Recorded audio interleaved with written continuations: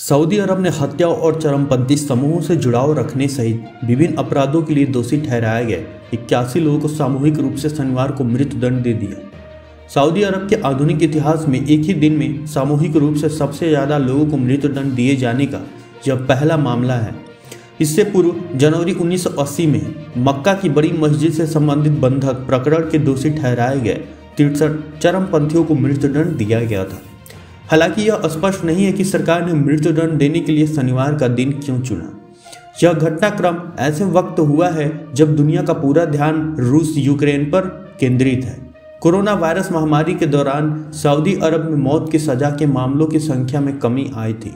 हालाँकि किंग सलमान और उनके बेटे crown prince Mohammed bin Salman के शासनकाल में विभिन्न मामलों में दोषियों का सिर कलम करना जारी रहा।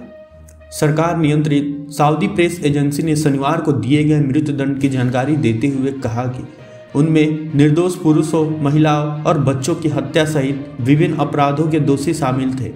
सरकार ने यह भी कहा कि मृत्युदंड दिए गए लोगों में से कुछ लोग अलकायदा, इस्लामिक स्टेट, समूह के सदस्य और यमन के हूती विद्रोही के समर्थक थे। मृत्युदंड दिए गए लोगों में सऊदी अरब के तिहत्तर यमन के सात नागरिक थे।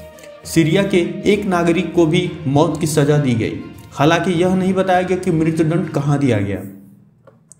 सऊदी प्रेस एजेंसी ने कहा, आरोपियों को वकील रखने की सुविधा दी गई थी और न्यायिक प्रक्रिया के दौरान सऊदी के कानून के तहत उनके पूर्ण अधिकारों की गारंटी दी गई थी।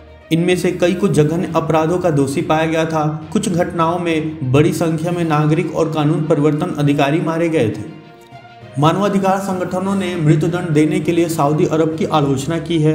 लंदन स्थित मानवाधिकार संगठन रेप्रिव की उप निदेशक सोरेया बाउवेंस ने कहा, दुनिया को अब तक पता चल जाना चाहिए कि जब मोहम्मद बिन सलमान ने सुधार का वादा किया है तो रक्तपात होना तय है। European Saudi Organisation for Human Right के निदेशक अली अदुबासी ने आरोप लगाया कि जिन लोगों को मृत्युदंड दिया गया है, उन्हें प्रताड़ित किया गया है और गुपचुप तरीके से मुकदमा चलाया गया। इससे पहले जनवरी 2016 में एक सिया धर्म समेत 47 लोगों की सामूहिक रूप से मृत्युदंड दिया गया। वहीं वर्ष 2019 में सैंतीस लोगों का सिर कलम कर दिया गया। इसमें अधिकतर अल्पसंख्यक सिया समुदाय के लोग थे।